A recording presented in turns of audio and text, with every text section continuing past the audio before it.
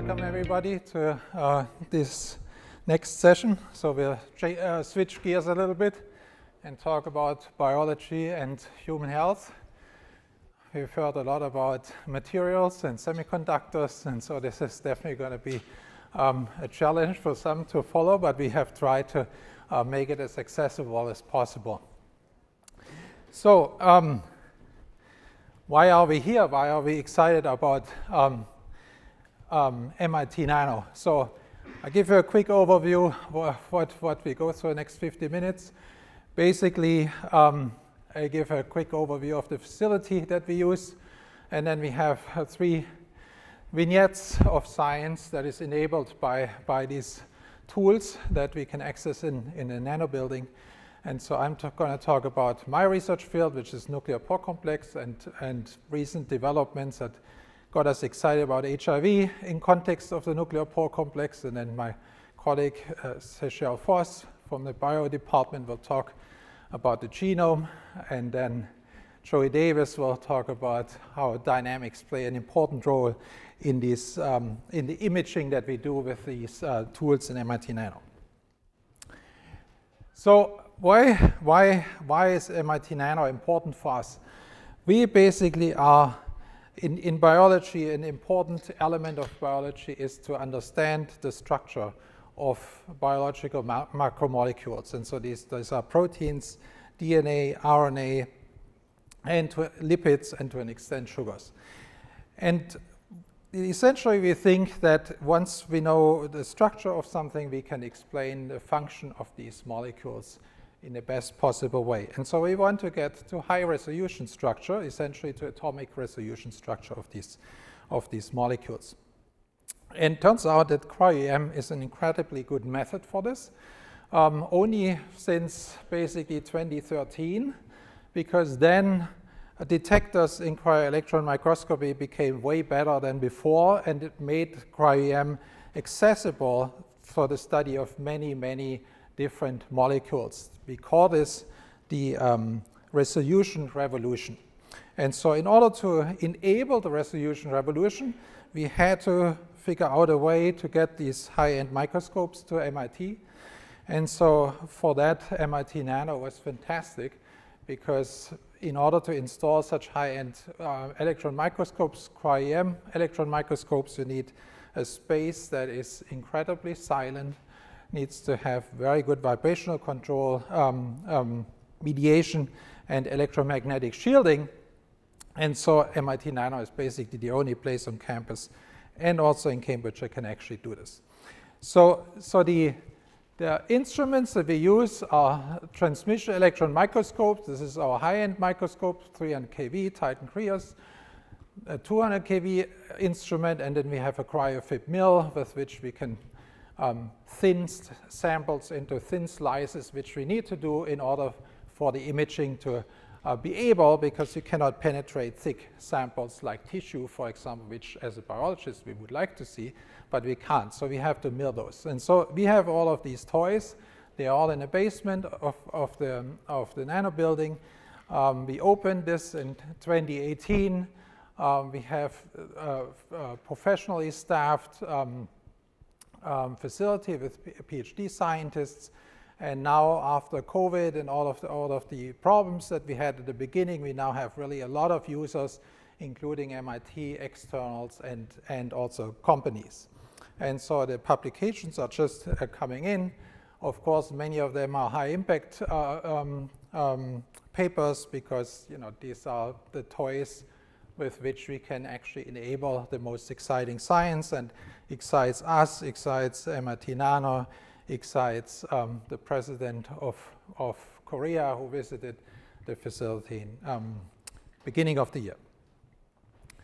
So, okay, so I am interested in nuclear pore complex. What is this? In our cells and human cells, we have a separation between the genome and everything else. So we have a cell, a nucleus, and the nucleus is surrounded by a um, double lipid bilayer and therefore shielded from everything else. And so now you have created a huge problem because, because um, you have to transcribe the DNA make mRNA. The mRNA has to be translated into protein. This happens in the cytoplasm. And so you now have to bring every mRNA molecule out of the cell, and then you have to bring all the produced proteins that need to be in the nucleus back into the nucleus. And so you have to then um, have a way to penetrate this membrane, and the way this is done is by one single channel, which is called the nuclear pore complex, which sits in these circular openings in a nuclear envelope, and that essentially facilitates all of this transport that, that happens. And so um, we were fascinated in, fascinated in understanding this machine, right? But so this is a huge machine um, constructed out of 500 proteins, has 100 nanometer diameter, so in biological terms, really gigantic. So the way this principally works, if you dumb it down to the most uh, simplistic way, you basically can say this is this is just built uh, as a scaffold that sits on that membrane, and then from that scaffold, you have disordered proteins that have a signature of phenylalanine glycine, two amino acids, with which it forms a mesh. It's basically jelly. And so that, that seals uh, the, the nuclear pore complex and forms a permeability barrier or condensate. And so the way this essentially works is if you have a small protein, smaller than 4 nanometers, they can simply diffuse through this. So, so there is no for those it's no barrier. But once you hit that size barrier of about 4 nanometers, you need to have a facilitator to go through. And the facilitators are called nuclear transport receptors, here shown in green. They can facilitate either the import or the export of proteins across this membrane in a, in, in, in a directional manner. There's energy involved that brings that through a small GTPase RAN that um, directs this, uh, this, this, transport either to the outside or to the inside. And, and, uh, and the purpose of these nuclear transport receptors is essentially to mesh with this FG gel. They can partition into it, and so therefore they can facilitate the transport. And so we then were interested in how to solve the structure of this, and this started in 2000, so there was no cryo-EM. So what, what we did at the time is that we figured out that this large complex is organized into subcomplexes that we could biochemically characterize. And so then at the time, we did this with a technology called X-ray crystallography. And we then thought, okay, so let's see whether we can get the structures of these individual subcomplexes, and then with some low resolution technology like cryo-EM at the time, find out a way to bring everything together into a composite structure. And so, okay, after 15 years or so, we had a structure of the largest subcomplex called the Y complex. And you can see why it's called that way, built out of uh, 7 to 10 uh, individual proteins and they form this um, relatively large structure and you can see it in all its beauty of, of helices and beta sheets that string this thing together. And then there is uh, cryo-EM data um, at the time, so this is 10 years ago, relatively low resolution, but since we had such a large structure, it, it was still enough to basically get some basic idea about the architecture, and that means like we could see in this, in this structure that there are two, two rings of eight such Y complexes stacked on top of each other, and they would form this, what we call the cytoplasmic ring. And on the other side, there's a uh, ring that looks very similar. And in the middle is a third ring called um, inner ring, and that is composed of other proteins. All right, fine. So, so we were there, and then, of course, you know, people try to improve the resolution and improve the resolution over, over the next few years. And so you can see more details of this. But then we thought, okay, so all of these structures are built from semi-purified nuclear pores. So they are taken out of the cell, they are, they are fractionated and then imaged. That's what you were able to do at the time. But now we had a cryo-FIB mill, and so therefore we could ask the question, how does this complex actually look like in a in an intact cell. And so this is what Anthony, postdoc in my lab, then um, embarked on doing. And so to do this, you need a cryo-FIB mill. So with the cryo-FIB mill, you can take your individual cell frozen on a grid, cut through it so that a thin layer is left. Um, in a cartoon looks like this. And so this thin layer we can then image in a, in a cryo-electron microscope and, and um, record a tomogram. So we did this. So you can see this, how this actually looks like. Looks like. And so now you can correct it. Um, and you will end up basically with, with a reconstructed tomogram in which you can see the, uh, the membrane and, and the pore opening. All right, so how does that then look like? So this is the structure that we got out of this. Looks on the surface very similar to what we had seen before. We can model again like two rings of 8Y complexes on both sides, cytoplasmic ring, nuclear ring, inner ring, inner ring, yet other proteins, but looks essentially similar. But if you now actually compare the two, you will notice a pretty significant difference. And that is that the nuclear pore complex, when visualized in intact cells is, has a much bigger diameter than the ones that we had previously seen. So this was a huge surprise to us. Nobody expected this to have such a um, significant difference. And so we could analyze this further. We could basically then um, figure out that the, the diameter before was about 40 nanometers. Now our data suggests that this is about 60 nanometers, and it changes basically in this inner ring. Okay, who cares? Why is, why is, who cares about a larger pore? Most things that go through the nuclear pore complex are way smaller than this 40 or 60 nanometer um, opening. And so why, why, would, why do we care so much about this? So the dogma in the field was effectively made a lot of sense. The largest substrates that you can use that go through the pore are 39 nanometers. Fitted very well with this previous data. Um, now we saw that the, our pores are actually larger. And so then we thought, okay, what are sort of the largest things that need to go through the pore? And so that brought us to HIV.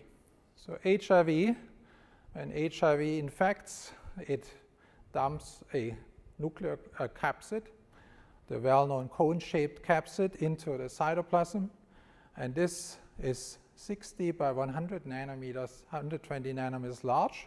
So obviously, this cannot go through the nuclear pore complex if the, if, if the size limit is 40 nanometers. And so therefore, for all these years, the dogma in the field, when, when you look at the HIV life cycle, was that, okay, HIV infects, sheds its membrane, you have the, we have the capsid, the capsid makes it to the nuclear pore, then the, the RNA genome of, of the virus needs to be transcribed into DNA before it gets integrated, necessary step for, for the HIV virus uh, to propagate.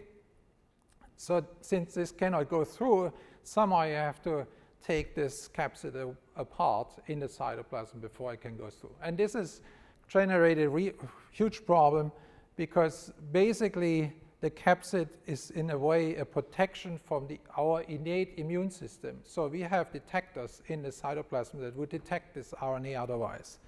And so it kind of didn't make too much sense that this would happen, but you know, that's, that's what we thought.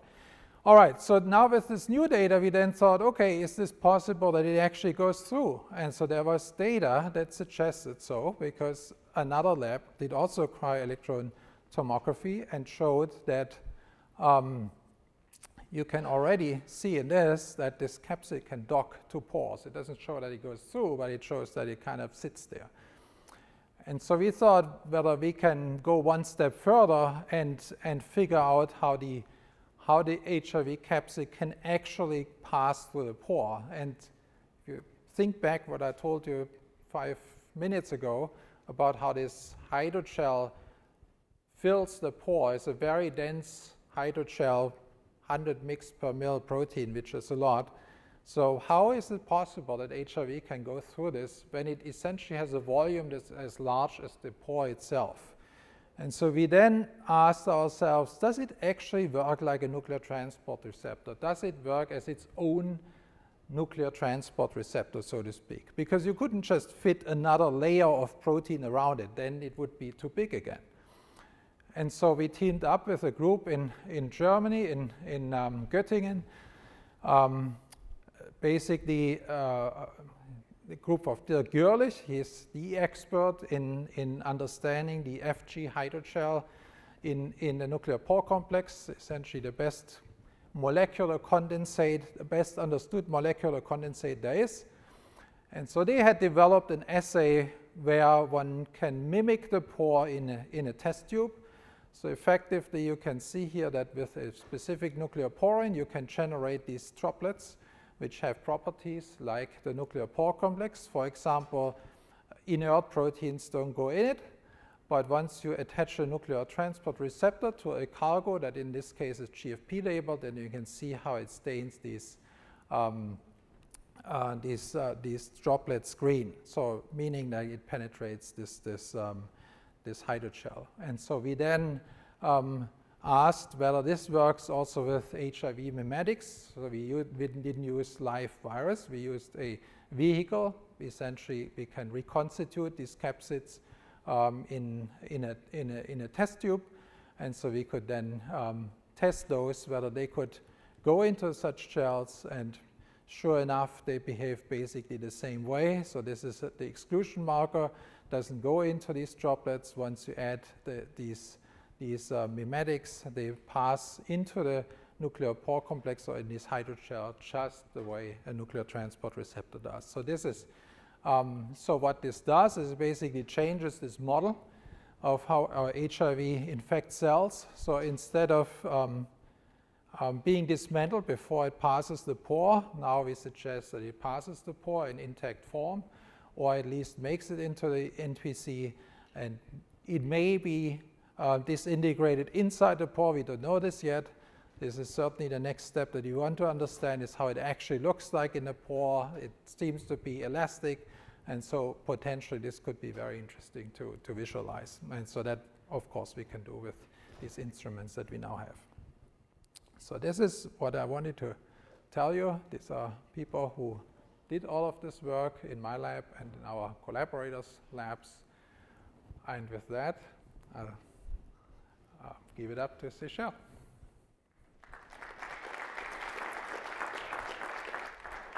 Hello, I'm really excited to be able to uh, present some of our work. Um, it's great that Thomas just talked about the nuclear pore complex. We care about what's actually inside of the nucleus and um, how that material is managed. So all of our cells contain almost the exact same DNA sequence, However, they perform extremely different functions. So your brain cells, your liver cells, they're performing very distinct functions, but they have the same exact blueprint encoding for them. Um, I really love this uh, picture of a developing salamander. Here at the beginning of the development, all the cells look exactly the same, but as these cells grow and divide, you end up with this beautiful animal that has so many different types of cells that perform these very distinct functions. And my lab is interested in understanding how that happens and how that's regulated. How do we get specific genes made in specific cells to give them those identities?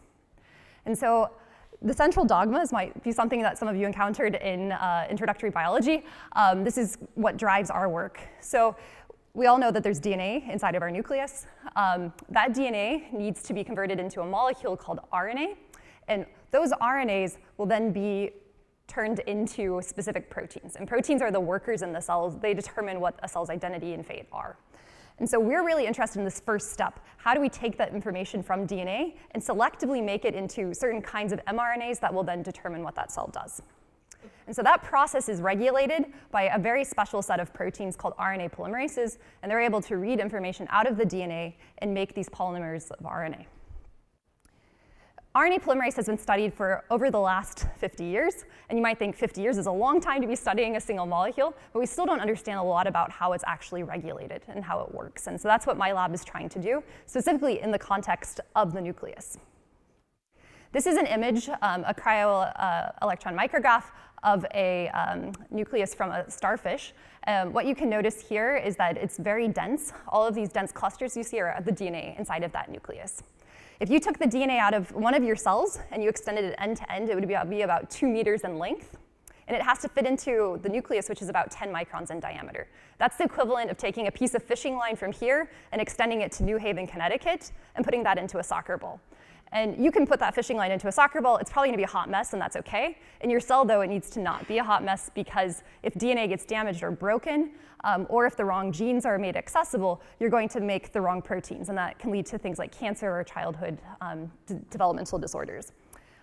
So in this nucleus, RNA polymerase needs to find the right piece of DNA in the right cell type and make the right mRNA out of it. And that's a really hard task. At the same time, the cell needs to be able to keep this DNA extremely compact in order to keep it inside of the nucleus and keep it protected from the rest of the cell. And so we're really, in our group, trying to understand how these two basically conflicting processes of compaction and organization are going with um, accessibility, so having the RNA polymerase actually going in and reading this. There are a lot of different ways that we could study this. Uh, in the last 20 years, a tremendous amount of work has been done to make uh, sequencing of DNA and RNA really accessible and affordable, and so a lot of groups go after that. Um, I unfortunately am a person who needs to see stuff to understand it, and so the, the way that we go about it is to use more of a visualization uh, system. Um, you could use light microscopy, and that's more on the micron scale. Um, we like to see angstroms, so a little bit smaller than everybody here in Nano. We need to be uh, 10 to the minus 10, that makes us happier. Um, and so my lab uses a combination of X-ray crystallography, cryo-EM, and uh, Thomas just discussed cryo-electron tomography. And today I'm going to tell you a bit about how we use uh, cryo-EM to specifically look at the transcriptional apparatus and how it's regulated um, during a very important phase of the transcription process. So uh, I'm going to give you guys a brief introduction on transcription because there's an important part of how this is regulated. So RNA polymerases um, need to be brought to specific genes, and they're brought there by transcription factors who can read uh, specific uh, parts of the DNA that are called promoter elements. Once the polymerase gets recruited to a promoter, it begins to initially transcribe. It actually has to open up the DNA and then begin synthesizing an RNA. One fascinating part of um, transcription, especially in higher eukaryotes like us, is that the polymerase pauses after transcribing about 25 to 100 base pairs. So very shortly after it escapes from the promoter region. And this seems very counterintuitive because our genes are on the order of about 20,000 base pairs. So th there's basically nothing there, and the polymerase just stops. Seems very crazy, and I'll go into a minute why, it, that, why we think that happens. Pausing is uh, the consequence of both the underlying DNA sequence as well as two protein factors that combine to the polymerase and kind of enforce that state. It does get released because you do need to make that mRNA, and that's uh, regulated by a, a, specific protein called a kinase that can phosphorylate the proteins here and results in um, one of them uh, losing its affinity for the polymerase and then being exchanged for other factors that can cause the polymerase to then rapidly transcribe through the gene body. And so why pause? Why is this important? Um, it's a really important regulatory mechanism to make sure that only genes get transcribed when they're needed. And so it's used to regulate about 70% of the genes in our bodies, which is quite a bit. And it's used in diverse processes like heat shock. So when you guys get a fever, you need to turn on certain genes. Um, if you, again, have a, an illness, turning on specific genes to respond to, to that illness to kill the virus, uh, that needs to happen. Also, if, if you need to develop into an organism, differentiation is very much regulated um, by this pausing phenotype. And finally, it's uh, such an important mechanism to regulate gene expression that viruses like HIV actually use pausing uh, to regulate when that gets expressed inside of our cells. So if we get HIV, um, it steals the host machinery, and one of the mechanisms that regulates when HIV gets made is, is through this pausing phenotype. So our lab likes to visualize things again at the angstrom level, and we do this through biochemical reconstitution. And so we purify all of our factors, and we can put them together to specifically look um, at transcription. Um, we purify our polymerase from pig thymus. We can make synthetic nucleic acids um, that we can assemble the polymerase on, and then add in factors and what's really cool nowadays is we can actually watch the active process of transcription. So we can take our test tube, our biochemical reaction, and put that um, on a grid, which I'll show you in a minute, um, and actually visualize that. So I'd like to give you a, a, glimpse into the kind of experiments that we do before we end up seeing things at the atomic level. Um, we characterize things biochemically. And in this particular assay, what I'm showing you is that we have a, a fluorescently labeled RNA. Um, and with this RNA, the polymerase can assemble onto a, a, DNA substrate. And if we give it nucleotides, it can then take this RNA and actually extend it. So what you're looking at here is it's a denaturing acrylamide gel. And so RNAs that are longer will be um, impeded in their uh, progression into this, this matrix. And so this is a full-length transcript. Down here, we have actually a position with pausing. And so if we add our pausing factors, what we can see is that this pause position lasts for a longer period of time, and it takes the polymerase more time to get this fully extended product. So Bonnie Sue, who's a, a, really fantastic PhD student in our lab, she saw these gels and she was really excited because what you can see here is there are lots of different species. It's not that we have only one species. We have pausing species, we have fully elongated species. There's a lot of going on here. And she wanted to ask, can we actually visualize this whole spectrum of intermediates in this reaction using structural biology? Um, and so to do this, she used uh, cryo-electron microscopy, and she was successful. Otherwise, I would not be telling you guys the story today. But I'll show you the cool stuff she figured out momentarily.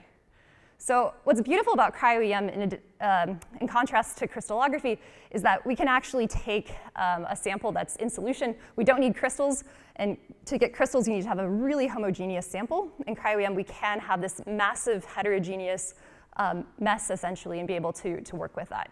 So we can take our sample here, and we can apply it to a, a grid. This grid is about three millimeters in uh, diameter. We apply the sample to the grid.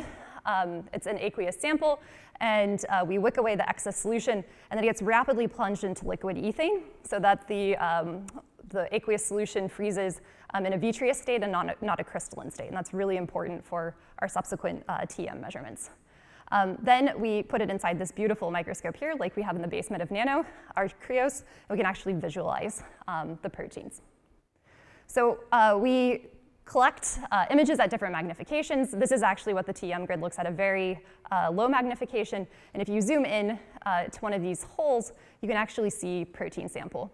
And this is what a real micrograph looks like. Um, it probably doesn't look all that phenomenal, but we're actually able to get angstrom level information out of that. And to do that, it requires a lot of uh, modern computational approaches.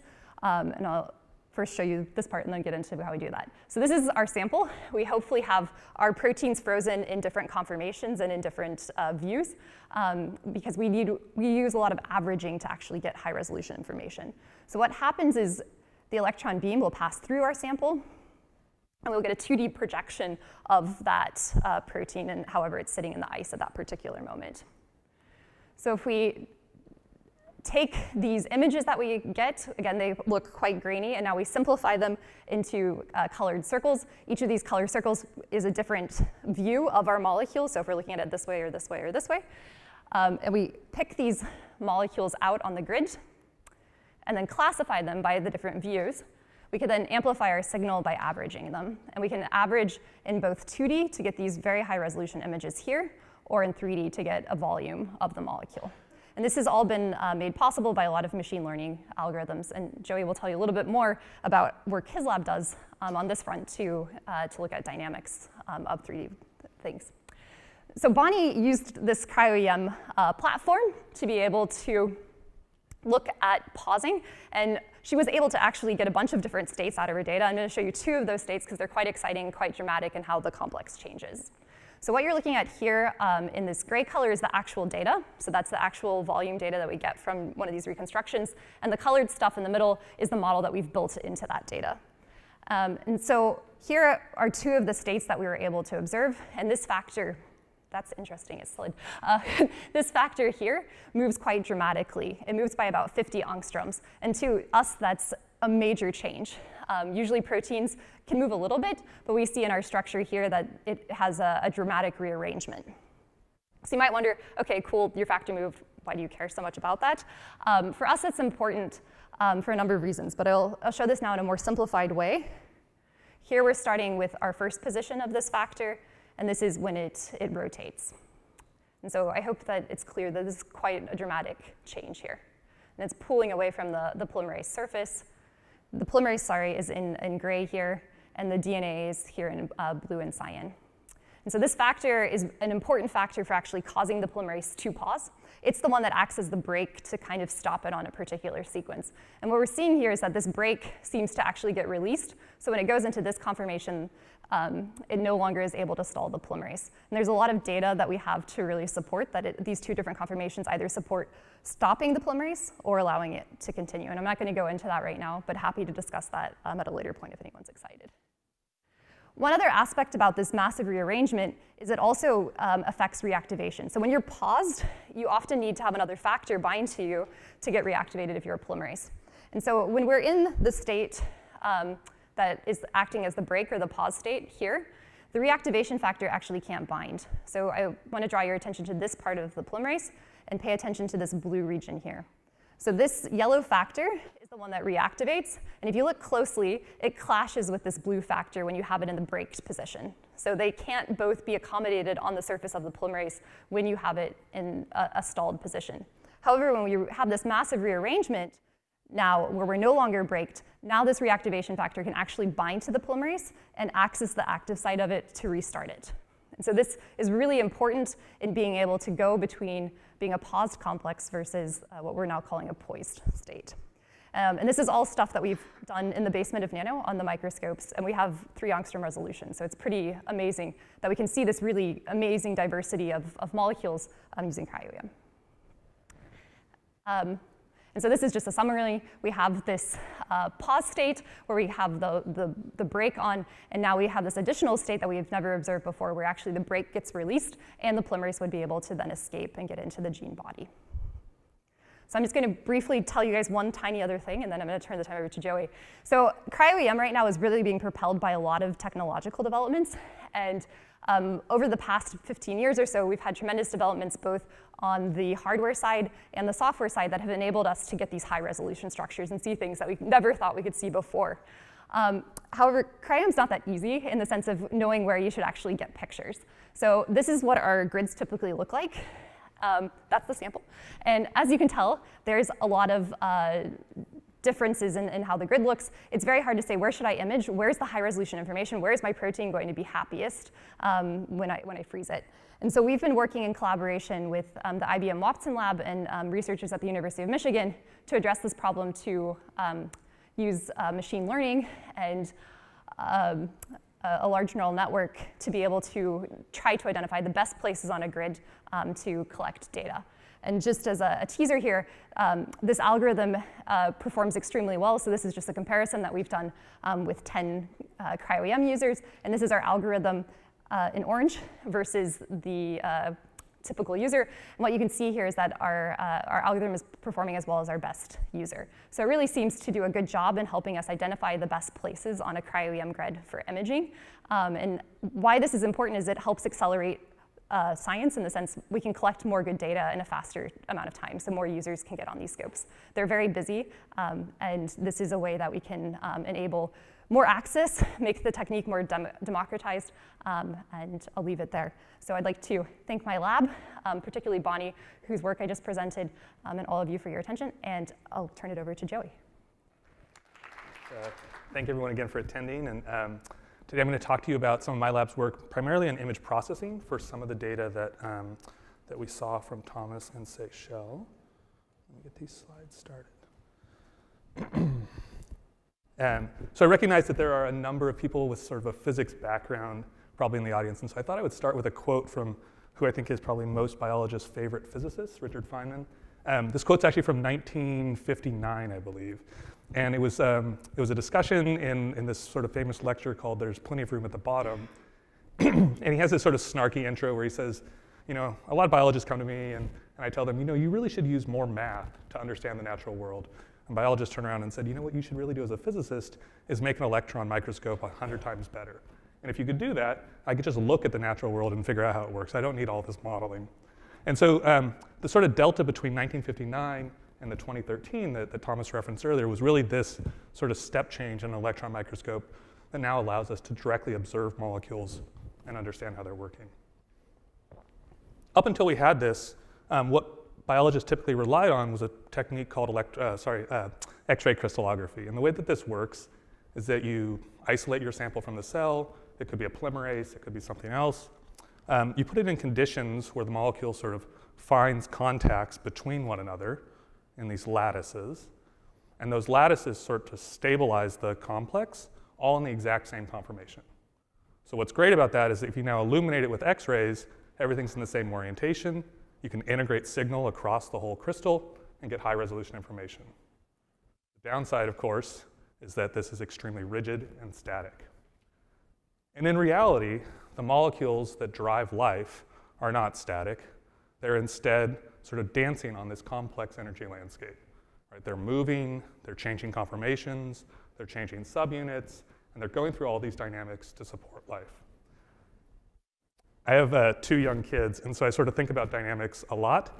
Um, and one way that you might think about this is if you're thinking about trying to develop a drug to bind to a particular cleft on a molecule, you sort of look at the static picture and you say, oh, this looks relatively easy. I see the docking site. I know what the molecule needs to look like. And for people that have fed uh-huh. toddlers, that is in fact much more difficult, right? There's a bunch of dynamics. There's all these motions that you don't necessarily appreciate when you look at the static image, but those are important for understanding how you actually get the molecule delivered. Uh-huh. Okay, so. Uh-huh. The other way you might approach this is to think about using deep learning techniques. And you know, this has sort of inundated everything that's going on in science or these generative modeling approaches. And probably the most important for structural biology was developed by DeepMind um, in two variants called AlphaFold and AlphaFold 2. And these have been extremely powerful um, in helping us go from primary sequences to folded protein structures. We can do this in silico. We can do it across entire genomes all in one go to understand what the folded proteome looks like. And so if you read the press reports, you might turn to this and say, oh, so why do we need to experimentally determine structures any longer? We can predict them. And at some level, that's true. Um, it's really true for a small subset of the types of problems that we're interested in. And in part, that's because the training data that goes into this has come from X-ray crystallography, and that primarily focuses on small proteins that are static. And so just a sense of scale, so what I'm showing here are experimental, excuse me, experimental and predicted structures in blue and green. And it's remarkable, right? This is basically atomic level precision of prediction of a structure from this primary sequence. And you'd say, oh my God, it's all done, it's solved. Wonderful. So this is a typical prediction that might work. This is shown now on the screen. You know, it's on the order of 30 nanometers. This is a typical machine that operates in the cell on the same scale. Right? So this is the sort of thing that we can predict. This is a ribosome. This is what makes all the proteins in your cell. Um, and you can see that it is just a completely different scale and this is the type of problem that we can't yet predict. Now, my hope is that we'll get there, but getting there is going to require a lot more data. And that's my belief, at least, is where cryo-EM is really going to be impactful, is generating the types of data that we need to be able to make predictions for these massive types of machines. All right, so Seychelle went through this, um, so I'm going to go through this very quickly. But you can imagine um, one of the promises of electron microscopy is that you take a picture, and now you have a bunch of molecules all on the grid. Okay, so you can segment those out. Again, the resolution is quite low, right? There's a lot of noise for the amount of signal that you have. But the opportunity is that you're looking at individual molecules. Those can all be in their own conformations. And if they're all in their own conformations, potentially you can understand these dynamics. To get to res higher resolution, what we typically do is we average across them, again, either in 2D or 3D. And when you're doing averaging, implicitly, you're assuming that all the molecules are structurally homogeneous. Right? Just by saying that we're going to average things, we're saying we believe that they're the same. We know that that's not true, and so people make sort of trivial extensions to this idea by saying, well, instead of averaging to generate one structure, maybe I'll average to generate two structures, and now I need to infer both the sort of viewing orientation for the particle and then which one of these two classes it can go in. You can extend this and say, oh, maybe there's three, maybe there's four. The types of problems that my lab's interested in is understanding how big machines like the ribosome come together. Those are often composed of, say, 50 to 100 different subunits. And so you could ask the question, you know, is this actually going to scale? We can work through that very quickly. If you had a, a, a, system that just had two components, there's four states possible, right? Completely empty, one of each one bound, or both bound. If you go to four components, this jumps to 16 states, six components, 64 states. And you go to the ribosome, you know, and you have this preposterous number. Now, of course, we don't necessarily expect that all of those will be populated, but just to give you a sense of the types of scales that we have to worry about, you know, this sort of k-means classification is never going to work. And so what my lab did was try to reframe this problem. We started thinking about, instead of trying to average to infer a voxel array, that is like the density map given a set of structures, let's reframe the problem and start to think, could we use the data to learn a mapping function? Okay, and the idea for this mapping function is that it would take a position in Cartesian coordinates and it would map it to the electron density at that position. So the way you generate a structure if you had such a function is you basically rasterize through the box And as you rasterize through, you predict the density at each position, and you're to slowly build up the structure. Okay? So out of the box, this doesn't really help things. You still have one set of data, and what comes back is one structure. You've now just sort of complicated the formalism before it because now you're learning a function instead of learning the density map directly. But if you start to think about this as a function, well, a function is a function. It can take inputs of Cartesian coordinates, but it could take another input, which might be a discrete class k. So now conditioned on what class you're in, you're going to get back a different density map. You could take that further and say, well, it doesn't have to be discrete. Maybe it could be a continuous variable. So some position along a reaction coordinate, and conditioned on that position, you could get back a different density map. Or, you know, the pie in the sky dream is that imagine that you have some multidimensional energy landscape, conditioned on the position in that energy landscape, you'll get back a different 3D volume. So what's nice about this functional mapping is that it really naturally extends to handle heterogeneity. Okay, so how could one learn a function like this? And this is where we turn to deep learning. There's this sort of universal approximation theory, which says that if you have enough layers in a um, MLP, you can learn any mapping function provided the appropriate training data and the right types of inductive bias. And all the magic for deep learning is figuring out how to organize that information and organize the networks to learn the function you want to learn. And so at MIT, we're fortunate to have incredible graduate students. And so actually, Ellen Zhong was the first student in my lab that I sort of tasked with this problem. She had a very successful PhD and now has her own group at Princeton, sort of continuing this work. So the way that this works is um, there's a one network, which is exactly what I described. We call it a decoder network. Its job is to take in some position um, and maybe some position on a, a multidimensional energy landscape, predict density, and then what we'll do is we'll measure, or we'll take the predicted density, compare that to the input image, and if they're the same, we tell the network you're fine, don't change at all. And if they're really different, we tell it to update its neural network weights and try to learn this function. So we're to pass the data to it over and over and over again until it learns to generate images that are as close as possible to the input image. To handle heterogeneity, we're then going to add another network we call an encoder, and its job is to organize the images in what we call a latent space, which is some low dimensional space where it's organized by structure. So they're going to get encoded. Based on where they're encoded, the decoder will generate an image, and this whole thing gets trained end to end. So the way that you would use this is that you pass all of your particles through these networks, train the networks, you give one final pass of the images, and they're going to get projected into this low dimensional space. And here, this is organized by particle density. So the sort of yellows are higher density particles. So you can see for this data set, there's maybe a half dozen different major states. And then there's sort of substates between them that allow the molecule to, to uh, transition between these different states. And what's neat about this is that you can generate structures throughout it, right? So you can see these sort of discrete states, and you can also walk transitions sort of along it. It's a generative model, so we can make all the intermediates that were in the data. So how does this work? So we've done this on a bunch of different data sets now. This is called the spliceosome. This is one of the molecules um, that helps um, sort of modify mRNAs in your cell to allow them to be translated. Historically, it's been very hard to image and see structures of, in part because it undergoes large domain motions. So we don't know anything about the spliceosome, but we just took this data set, fed it to our tool we call cryoDRGN, and what we were excited to see coming out of it was that now we could actually resolve the molecule and we can see these large domain motions, which are really these molecules in motion. Right, so I would say we are inferring the order of these structures. Right? We don't necessarily know how they're ordered because we have a static picture, but we have all the different pictures, and so you can use some rules of parsimony to try to put them in order. we can apply this to all sorts of different systems. As I mentioned, my lab's really interested in the ribosome, which performs translation in the cell. We can take a data set, again, project it into a low dimensional space, and then sample structures out of it where we can see these huge amounts of, of structural variation. So here I'm just showing four structures. Because this is generative, you can actually make you know, hundreds or thousands of structures out of it. And once you have these large numbers of structures, it allows you to do things like make more um, rigorous statistical inferences of interdependencies of different subunits. So, so why might that be important? When we want to think about how the machine's assembled, what we'd like to do is just look at the ensemble of all the assembly intermediates and say how often do we see one subunit present conditioned on some other subunit present? And based on those conditional probabilities, we can sort of make arguments about whether one binds first versus one binding second. Here's how that would work. So for example, imagine you have these two structures. There's two elements. The, the details here don't matter, but just sort of look at them. You can see that there's a protein bound here called KSGA. There's an RNA helix here called helix 44. And if we look at all of our volumes, you can see that they're mutually exclusive. So if KSGA is present, helix 44 is not. And if helix 44 is present, KSGA is not. Right, so they're mutually exclusive. If one comes in, the other has to be displaced.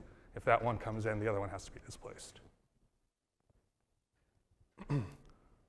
because we can do this computationally, we can extend it to all the RNAs and all the helices in the cell, and you can start to build up um, these sort of directionality arrows that tell you some dependence. So there's a couple ways this can fall out, but one of them shows that this protein S3 is dependent on helix 35, and that's because the only time that we see S3 being occupied, helix 35 is also occupied.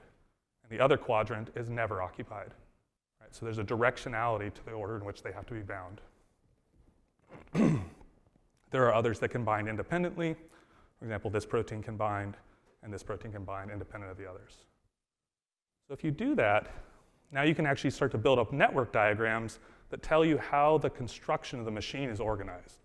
Right? And so um, this may not be super striking to this audience, but if I show this to a ribosome group, this looks like what's called a Nomura assembly map, which was sort of a historically incredible experiment that was done in the 70s where uh, users independently pulled out particular ribosomal proteins and asked what the consequences of that were on assembly of the ribosome. They did this one by one across 30 or 40 subunits. Um, and what's really cool about cryo-EM is because we can look at the ensemble of structures, we can just compute that directly from seeing all of these structures, and it all comes out of one experiment instead of you know, something on the order of like 20 human years. Okay. Um, the last thing I want to talk about, um, because I know we're going to do a little bit of Q&A at the end, is there's been a little bit of sleight of hand in what I've told you about these structures. So I've sort of said we want to understand how the world works, um, we want to understand how all these things come together. Uh, we're going to do that by growing up cells. We're going to lyse them with some detergent. We're going to run a bunch of columns and purify the complexes. And now I'm going to look at the distribution of structures that I see, and I'm going to tell you that that's the distribution that existed in the cell a week ago when I lysed them. You might say, I don't believe you, and, and that could be a reasonable assertion. And so what we'd really like to do is to look directly in the cell and see these things. And so Thomas mentioned this a little bit, but the way that we'll do that is using um, cryo-electron tomography. So again, you're going to grow cells, you're going to FIB mill them to cut a thin slice to see through them, collect images at tilt angles, and then go and look at the individual molecules there. Okay, so um, we have a, the same version of cryoDRGN. We have a tool that now works in tomography to do this. Um, where here, the amazing thing is that tomography is now allowing us to see sort of sub-nanometer resolution structures. So this is a ribosome that our tool is able to reconstruct directly out of cells. And I think the most remarkable thing about it is that the cells have been treated with chloramphenicol. So this is an antibiotic, it's a small molecule drug. And what we were able to see is we could find density for chloramphenicol. So this is a small molecule bound to its target, its mechanistic target of action in the cell directly imaged, right? So that's something on the order of a three and a half angstrom structure. Moreover, we can see dynamics. So we can look across the ribosomes and we can see you know, the details of this will probably be lost on this audience, but we can see different types of structures, whether they have subunits present or absent, helices in certain conformations. And the most exciting thing about this, to me at least, is we can now take these structures, map them back into the source tomograms, so you can see where all the structures live in the cell, oops, and then you, know, you can start to actually look through the volumes and you can ask questions about if I see a ribosome in this conformation, is it more likely to be adjacent to some other thing in the cell? and that might tell you something about interactions between these complexes. All right, so with that, I want to thank the folks in my lab that did this work. So again, Ellen Zhong sort of started all of this work. Ah, there she is. Ellen Zhong sort of started all this work in my lab, and then it's been continued by Laurel Kinman, and Barrett Powell is a fantastic student who did all the tomographic work I showed. And happy to take questions.